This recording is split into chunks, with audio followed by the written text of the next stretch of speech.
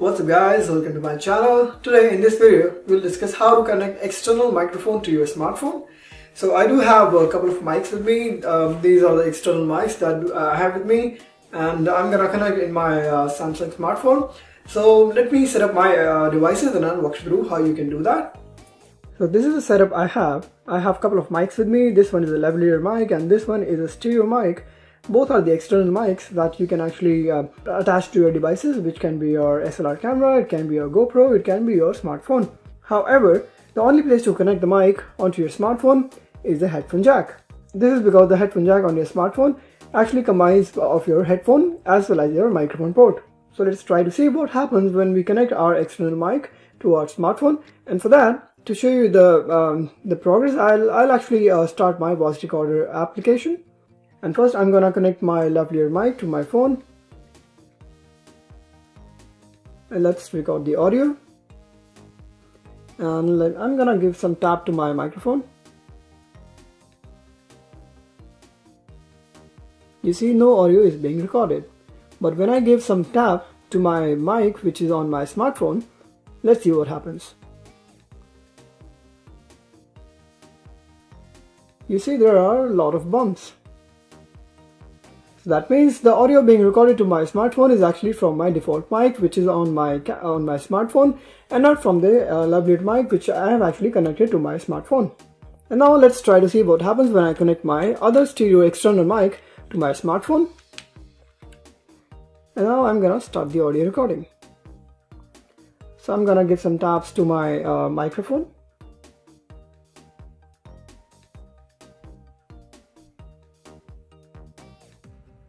nothing much. But when I give some taps to my uh, smartphone default mic, let's see what happens.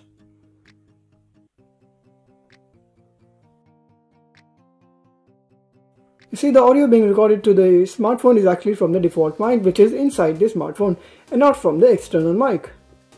So the reason that the audio is not recorded in your smartphone is, is actually because the phone thinks that you have actually connected your external headphone and not the microphone.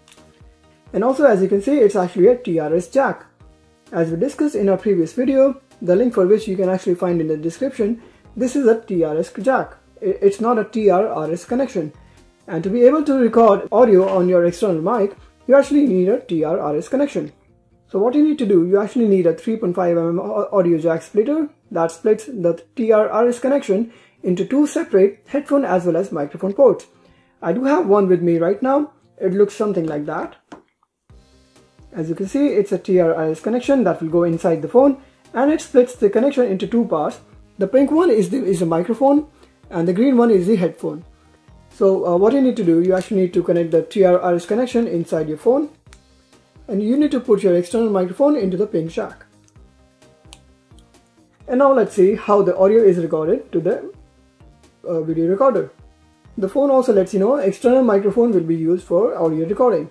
So let's uh, start the recording and, uh, and see what happens when we record the audio. So let's try to rub the uh, default microphone port. And as you can see, there is no bump from the microphone. But what happens when I try to give some uh, taps onto the external microphone?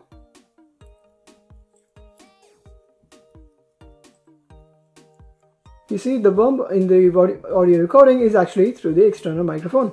And let's see what happens uh, when we connect the ex external stereo microphone to the audio jack splitter. Let's see how the audio will be. I'm gonna give some tap on onto the external microphone. You see the bump is actually because of the external microphone. And there is no change when I give some tap onto the default microphone which is inside the inside the phone. So in short, if you are looking to uh, connect your external microphone to your phone, you actually need this 3.5mm audio jack splitter, which you can easily find on eBay or Amazon for as cheap as like $3. But do make sure before purchasing that the audio jack of the 3.5mm splitter is a TRRS connection, otherwise it won't work. And this concludes our video. I hope you like this video and it was useful for you. And if it was, do give me a thumbs up and subscribe to my channel because I'll be sharing more cool videos on the same stuff. Alright guys, I'll see you in the next video.